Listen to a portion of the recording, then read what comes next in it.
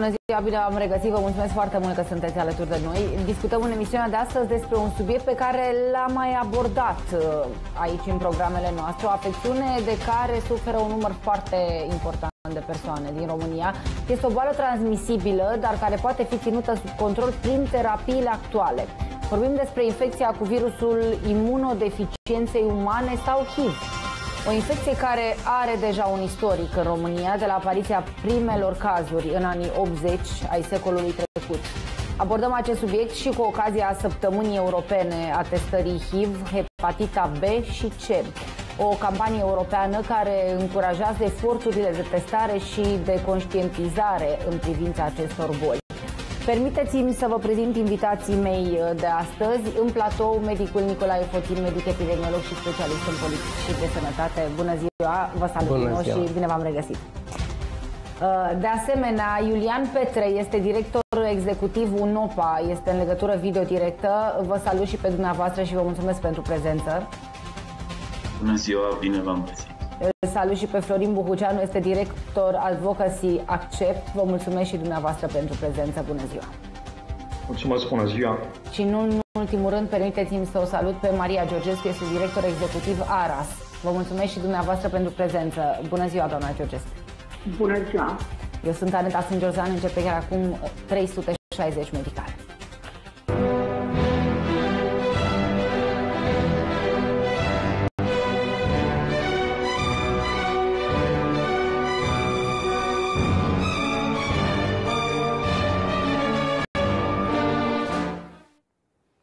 Da, și pentru că suntem în săptămâna europeană a testării HIV, vom vorbi mai întâi despre importanța acestei uh, testări. De ce este importantă, uh, domnule doctor Fotin, uh, testarea pentru HIV și mai ales care este riscul lipsei de testare sau testării insuficiente? Cum arată datele în ceea ce privește țara noastră și Europa, bineînțeles? Înainte de a vă răspunde la întrebare, dați-mi voie să-i salut și eu pe invitații noștri și um, să-i felicit și să le mulțumesc pentru activitățile pe care le depun zi de zi, pentru că prin implicarea reprezentanților asociațiilor, parte din ele prezente astăzi în emisiune, uh, HIV-ul înseamnă altceva în România de o bună perioadă de timp. Ca să vă răspund la întrebare, testarea extinsă și accesul la tratament reprezintă cheile de uh, intervenție majoră în, în orice politică de sănătate publică, cu atât mai mult când vorbim despre HIV. Uh, de ce spun acest lucru? Pentru că uh, uh, HIV-ul știm cu toții și noi am mai abordat în emisiune acest subiect, reprezintă o problemă de sănătate publică, uh, reprezintă uh, o uh, problemă care nu poate fi identificată, uh, cel puțin în prima uh, parte a debutului, decât prin testare. Uh, reprezintă o abordare importantă această testare despre care vorbim pentru că din datele existente foarte multe cazuri sunt depistate tardiv. Din datele existente, peste 61% din pacienți seroconfirmați uh, pentru HIV au fost diagnosticați tardiv, implementarea măsurilor de tratament, care uh, iarăși este bine cunoscut deja, sper, de către toată lumea, că asigură o viață normală uh, cu o supraviețuire similară cu, o populație, cu a unei persoane neinfectate HIV, dacă este instituit de vreme, pentru că Uh, România a aderat la niște rezoluții internaționale și a uh, semnat niște acorduri cu privire la uh, această categorie de pacienți, pacienții infectați HIV, prin care s-a angajat că, de exemplu, până în 2020, 90% din persoane, am mai vorbit de obiectivul 90-90-90 al Organizației Națiunilor Unite, care stabilea ca până în 2020 90% dintre persoane să fie diagnosticate, 90% dintre persoanele uh, testate pozitiv să aibă acces la tratamentul antiretroviral, pe care de altfel România îl, uh, îl pune la dispoziție și o să discutăm uh, în cele ce urmează cam cum. Prin da. urmare, este cu atât mai important să existe o astfel de campanie de conștientizare, de informare cu privire la importanța testării. Iar asociațiile despre care uh, vorbeam mai devreme și parte dintre ele aici, duc aceste campanii. Poate ar fi fost bine să fie și din partea autorităților o implicare cel puțin similară cu acestor. Și nu doar din partea asociațiilor. Da. Uh, Înțeleg că, uh, domnule Petre, asociația dumneavoastră a lansat o campanie de informare, de educare și conștientizare cu privire la infecția HIV, uh, despre ce vorbea uh, domnul doctor Fotin. Care este ținta acestei campanii? Ce anume doriți să transmiteți prin intermediul acesteia și care ar fi principalele probleme privind infecția cu HIV în România? Ce ar trebui făcut? Da, este vorba despre campania Nu-ți feri privirea, o campanie care are ca țintă populația largă, o campanie online pe care a lansat-o NOPA uh, pe 22 noiembrie, odată cu Săptămâna Europeană Stării HIV și hepatita B și C. Ne, ne propunem să, să creștem nivelul de conștientizare a populației cu privire la infecția HIV, căile de transmitere și ne putem pre, proteja de, de această infecție. Vorbind, în primul rând, fiind săptămâna europeană a testării HIV, vorbim despre promovarea testării și, uh, așa cum spunea domnul doctor Putin, este importantă această testare pentru că face da, persoanele să, să ajungă timpuriu pe tratament, să nu mai vorbim de Uh, prezentare întârziată la medic și de eșec terapeutic din cauza faptului că nu, pacientul nu a știut că este infectat cu HIV o lungă perioadă de timp. Testarea HIV ar trebui să fie gratuită în România, în fiecare județ.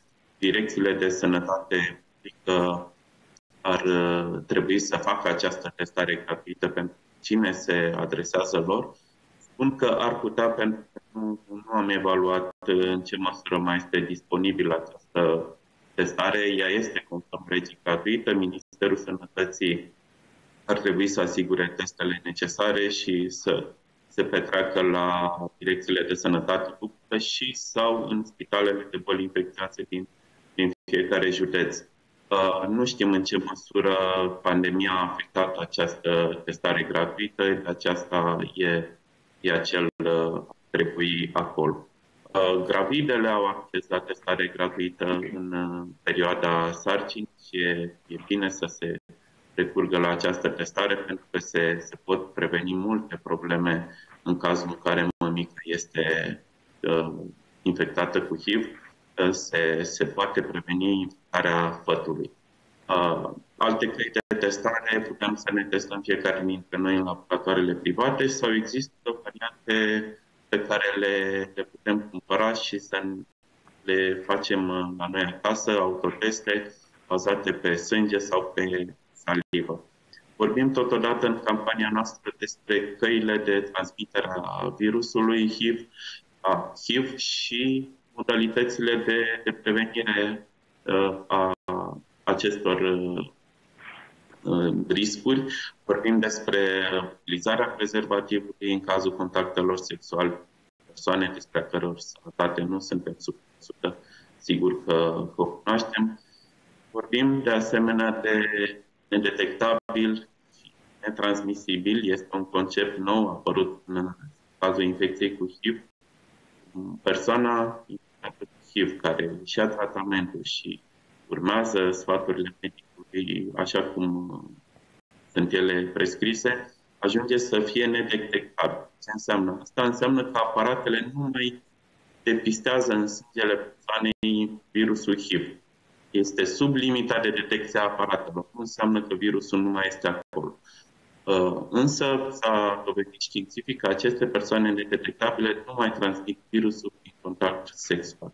Este o schimbare majoră de paradigmă Sperăm noi că prin uh, educație, prin faptul că populația va cunoaște aceste lucruri, va scădea foarte mult stigma și discriminarea asociată infecției cu HIV, nedrept față de alte patologii mult mai grave. Și poate o implicare mai uh, corectă și mai activă a autorităților în această problemă ar schimba într-un fel lucrurile.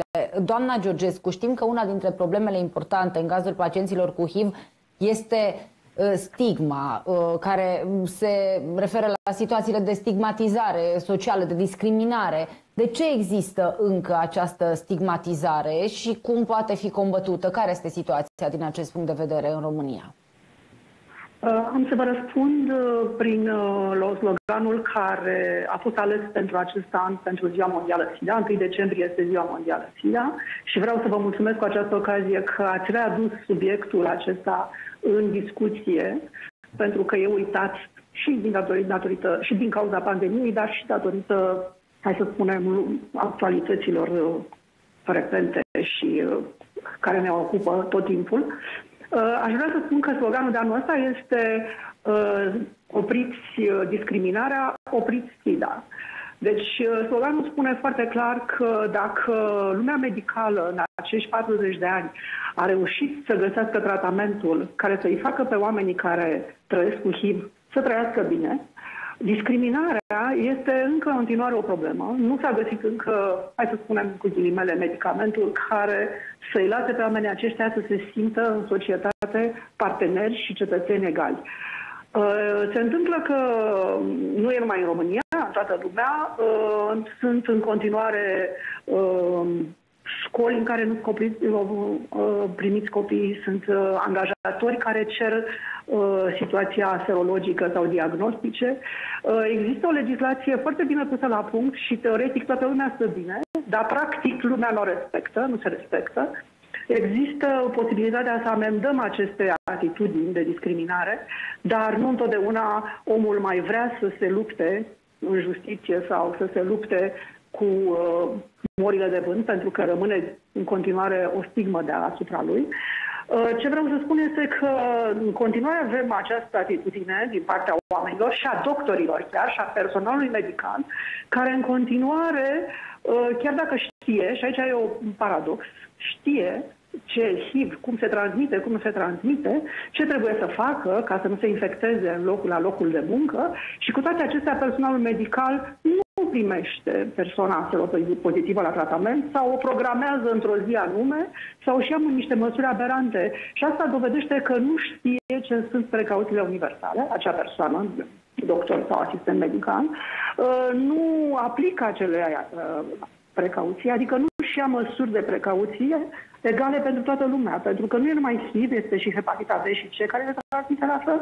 Deci cred că stigma și uh, discriminarea mai degrabă vine din faptul că oamenii cu preconcepții acoperă informația corectă, nu țin cont de ce știu, ce au învățat în școală medicii și în continuare nu acceptă persoane în, la tratament. Și vorbesc de medici stomatologi, vorbesc de chirurgi, vorbesc de spitale din București.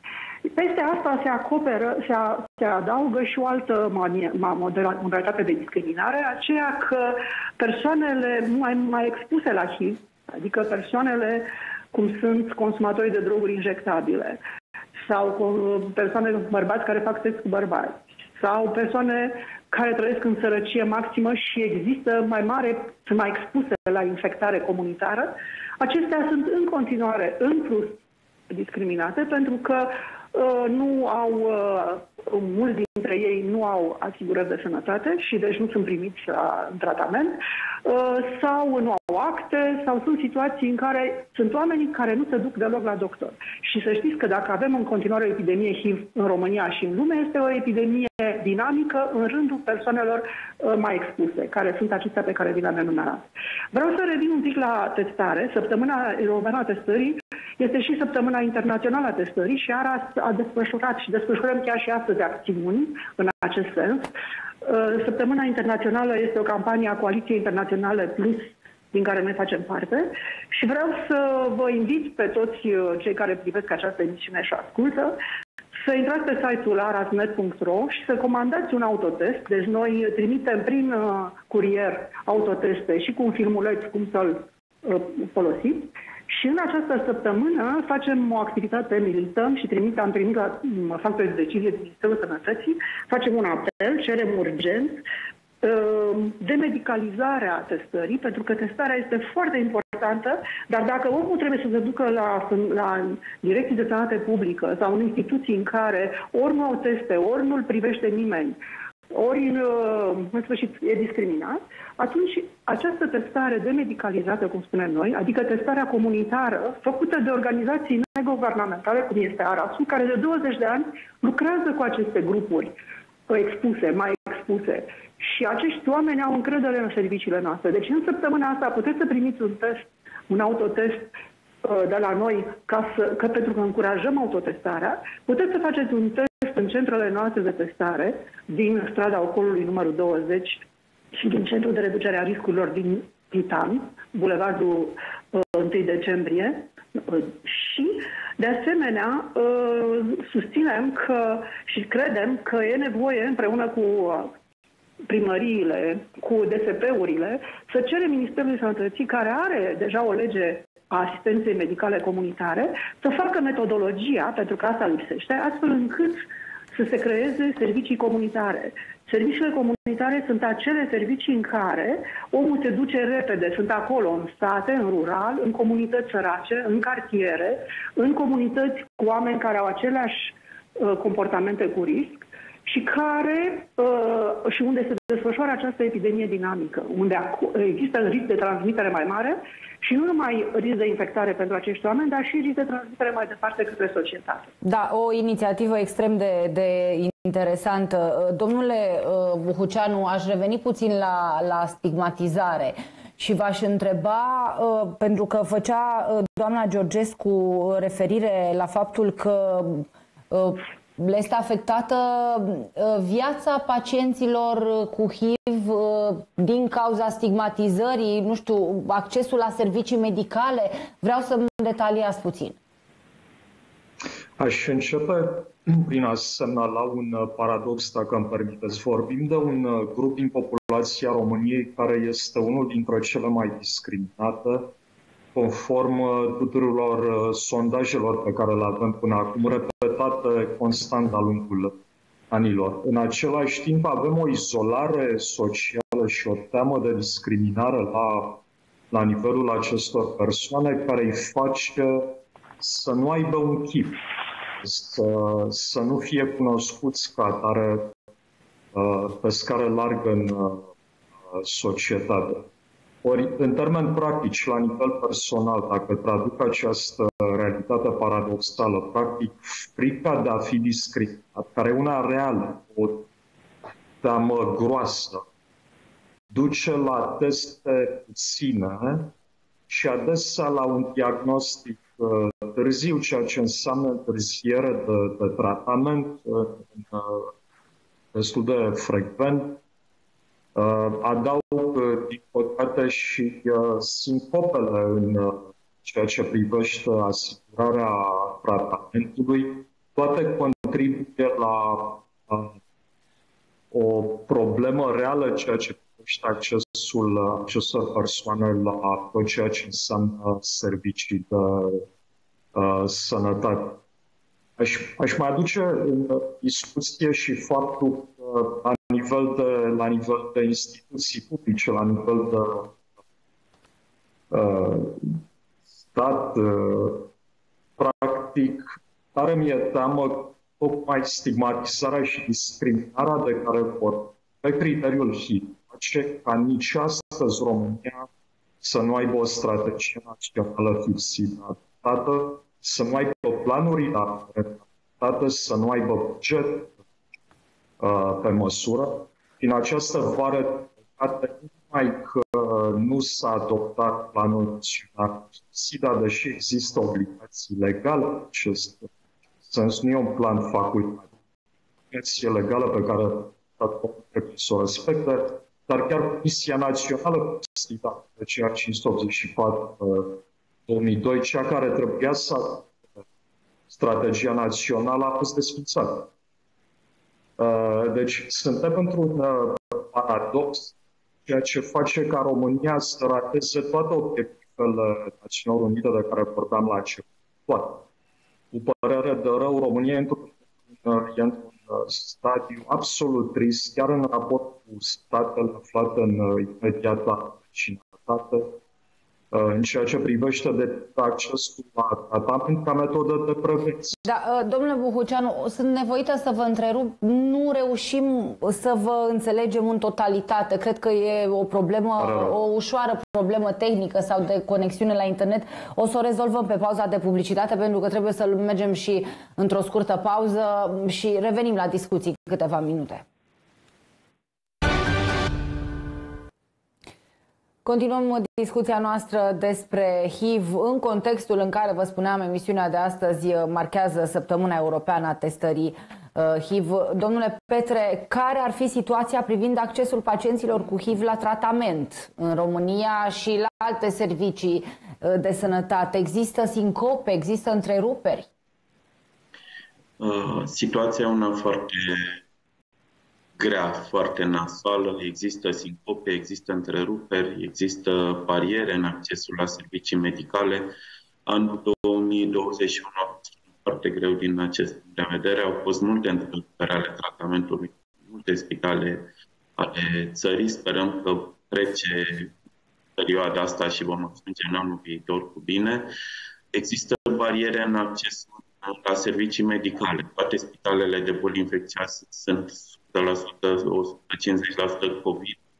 Pacienții cu HIV nu mai au acces acolo, mai au acces doar să-și ridice tratamentul în uh, condițiile acestea dificile și practic relația cu medicul s-a, s-a blocat, nu mai există comunicare, e, analizele specifice care trebuie făcute pentru a monitoriza infecția uh, nu se mai fac, se fac foarte greu și de asta e, e foarte complicată situația. Sperăm ca nou guvern să, să se orienteze și să aloce uh, atenție și buget programului HIV pentru că toate au de la modul în care s-a bugetat programul și uh, s-au răsturnat în cascadă problemele până la nivelul pacientului. Doamna Georgescu, uh, vreau să vă întreb care ar fi cele mai eficiente metode politici de a limita transmisia HIV? Care sunt exemplele de bune practici din care se poate uh, inspira și țara noastră? Uh, da, vreau să spun că noi avem în România o experiență, deci suntem uh, un parteneriat public-privat de aproape 30 de ani. Uh, am avut norocul să avem finanțare de la Fondul Global uh, pentru HIV uh, și tuberculoză și asta a dat posibilitatea creării unor servicii de prevenire și de reducere a riscurilor, care au fost complementare la, la în sfârșit, programul uh, național de sănătate publică, în care apare doar tratamentul, diagnosticul, tratamentul și bugetul aferent pentru persoanele cu HIV.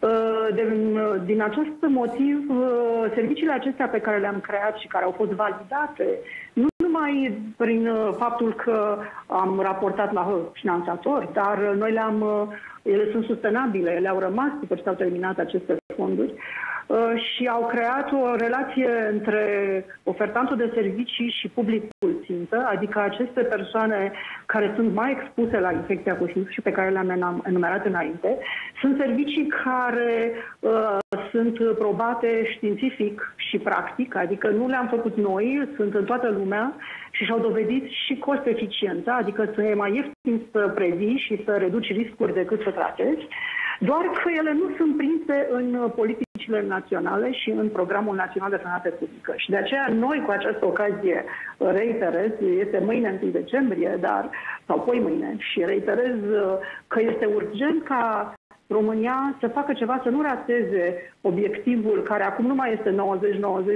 ci este să eliminăm HIV și hepatitele până în 2030. Este un obiectiv uh, stabilit de Națiunile Unite uh, și uh, în programul de dezvoltare durabilă globală și este un obiectiv pe care îl vom rata dacă nu introducem în programul național de sănătate publică prevenirea și reducerea riscurilor. Și, bineînțeles, nu numai în program, dar trebuie să existe acțiuni, plan de acțiune, cum spunea Florin Bucuceanu, și de asemenea buget. Aceste activități de educație pentru sănătate de prevenire în rândurile de populație cele mai expuse, ne vor reduce cheltuielile și vor putea să existe fonduri uh, nu numai pentru tratament continuu și neîntrerupt, cum se întâmplă acum, dar poate să facă și un, uh, o lumine, să, să dezvolte puțin sistemul de sănătate, pentru că, iată, pandemia ne-a arătat că avem un sistem de sănătate înțepenit, neflexibil și nedinamic. Bolnavii, persoanele cu HIV, dar și cu alte boli, nu mai pot, cu hepatită, de exemplu, nu mai pot intra în spitale de boli infecțioase, iar ceilalți medici din alte spitale nu-i tratează. Pentru că nu știu să trateze cu HIV. Nu știu dacă un om are și hepatită și HIV, nu știu ce să facă. De aceea trebuie schimbată paradigma, trebuie schimbat sistemul de sănătate și creat un model uh, de sănătate publică, sănătate privată și sănătate comunitară. Da, și, și din, este... păcate, din păcate uh, autoritățile nu înțeleg niciodată la aproape 2 ani de la debutul pandemiei de SARS-CoV-2 că mai există și alte afecțiuni și foarte mulți exact. bolnavi care suferă și de alte boli în afară Asta de COVID. Da. De trebuie, să mergem, trebuie să mergem în publicitate. Uh, foarte scurt, dacă vreți să mai adăugați ceva, vă rog. Da, vreau doar să adaug că vreau să salut prezența unui ministru de sănătate acum, care a fost partenerul nostru de-a lungul acestor 30 de ani, care știe ce înseamnă infecția cu SID, care, deci domnul Alexandru Rafila, pe care îl felicit că e ministru acolo și cu care avem speranțe. Deci speranța moare în ultima. Avem speranțe să facem lucrurile acestea pentru că dânsul are o înțelegere și o viziune. Bineînțeles și să sperăm că un om din sistem, un om care a fost uh, zi de zi infuzat de informații reale din interior, ar putea să schimbe într-un fel lucrurile. Vă mulțumesc și eu, doamna Georgescu, uh, pentru intervenția în emisiune. Mergem uh, într-o scurtă pauză, după care revenim uh, cu domnul Buhuceanu și cu Nicolae Fotin pentru concluzii.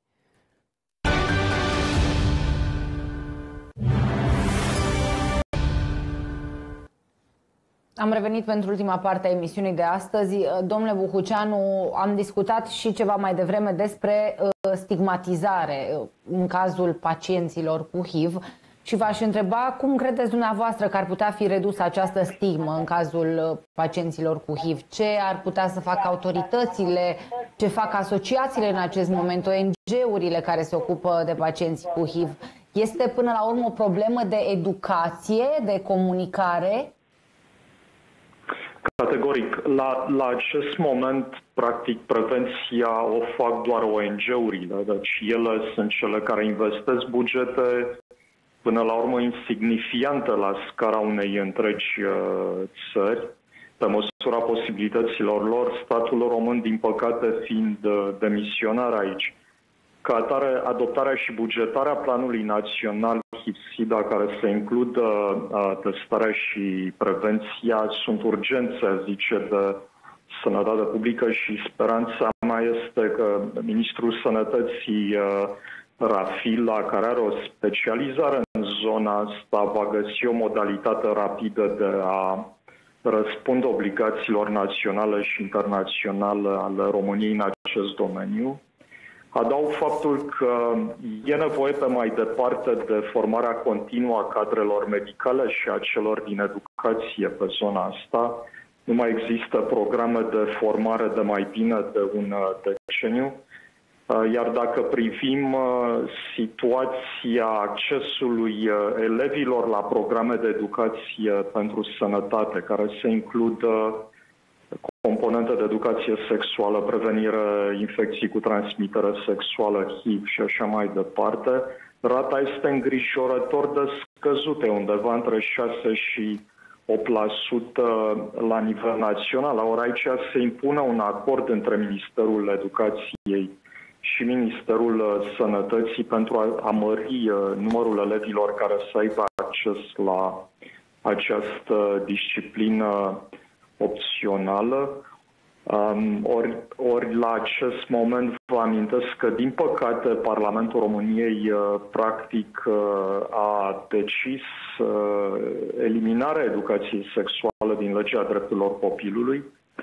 Avem o luptă de dată acolo, e esențial pentru a asigura pe mai departe accesul elevilor la educație pe zona de sănătate sexuală și reproductivă. Toate sunt urgențe, după părerea mea, și intervenția intervenții aici a ministrului Rafila și a noului guvern sunt determinante. Într-adevăr. Uh, domnule doctor Fotin, uh, despre programul de boli transmisibile din cadrul programului uh, național de sănătate, ce include acest program? Vreau să-mi spuneți puțin pe, pe scurt și să tragem și concluziile. Acum, după cum și invitații au menționat, există un program național de uh, prevenire a bolilor transmisibile care include și un subprogram dedicat uh, HIV-ului. Um, este, în fine, implementat din anii 80, din 1985 uh, până astăzi, dar așa, după cum am auzit, uh, este centrat pe asigurarea diagnosticului și tratamentului pacienților cu medicamente care, sigur, au uh, evoluat atât în ceea ce privește uh, accesul, introducerea în acest program, cât și, uh, în fine, eficacitatea lor, ajungând astăzi ca cu o tabletă să poți să-ți faci tratamentul pentru HIV. Um, ce lipsește însă este exact această, um, această fracțiune de prevenție despre care am auzit, care, conform unei legi pe care domnul Buhăceanu a menționat-o, 584 din 2002, stabilește în sarcina autorităților dezvoltarea de planuri strategice care să vizeze această componentă. Cred că ultima uh, strategie, ultimul plan a fost în 2007 aprobat. De, de atunci, atunci tot punem în transparență planuri sau strategii Uh, care să, să vizeze această componentă, pentru că uh, prevenția, așa cum am văzut, este uh, cheia limitării. Absolut. Și... Așadar, implicare, implicare mai multă din partea autorităților și felicităm ONG-urile care se implică în aceste demersuri pe această cale. Domnule Iulian Petre, domnule Florin Buhuceanu, vă mulțumesc foarte mult pentru intervenția în emisiunea de astăzi. Vă mulțumesc și dumneavoastră, domnule doctor Potin, pentru prezență și dumneavoastră, stimați telespectatori, că ne-ați urmărit. Vă mulțumesc, vă doresc să aveți o duminică excelentă în continuare la fix, Talk B1 cu Irina Petraru. Numai bine!